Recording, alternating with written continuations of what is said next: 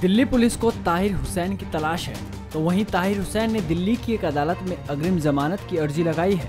बता दें कि ताहिर हुसैन पर दंगे में शामिल होने के आरोप लगाए जा रहे हैं। इसके साथ ही अंकित शर्मा के परिवार वालों का कहना है कि उन्होंने आईबी अफसर अंकित शर्मा की हत्या की है और इस घटना के बाद से ही ताहिर हुसैन फरार है। हालाँकि उन्होंने एक वीडियो सोशल मीडिया पर पोस्ट करते हुए कहा था कि उनको फंसाया जा रहा था और वो खुद दंगों में फंसे हुए थे। हालाँकि अभी तक ताहिर हुसैन फरार ही चल रहे हैं।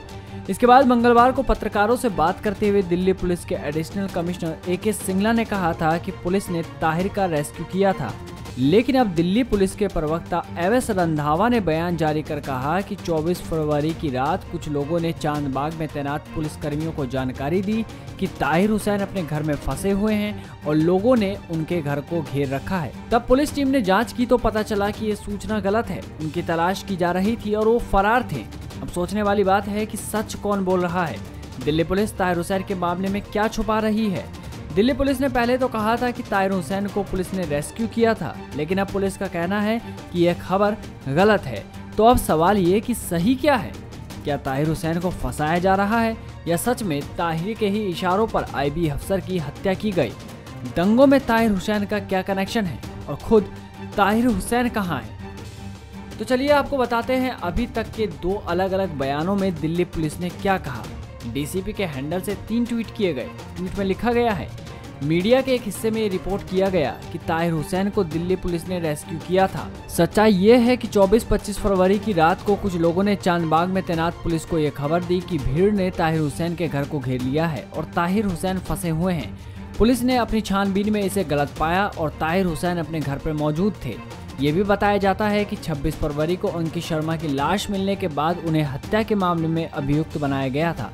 उनके घर की तलाशी ली गई थी, लेकिन वो वहाँ से फरार थे। उनको गिरफ़्तार करने के प्रयास किए जा रहे हैं। अब दिल्ली पुलिस ने मीडिया का हवाला देते हुए कहा कि यह खबर गलत है, और जिस खबर को वो गलत बता रहे हैं, वो भी दिल्ली पुलिस के ही एक अधिकारी के बयान पर चली थी।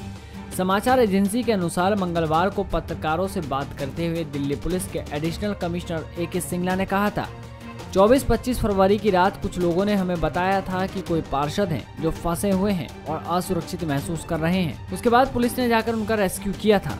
हालाँकि ताहिर हुसैन कहते रहे हैं कि वो खुद हिंसा के शिकार हुए थे और जब दंगाइयों ने उनके घर को घेर लिया था तो उन्होंने पुलिस को मदद के लिए कई बार फ़ोन किया था।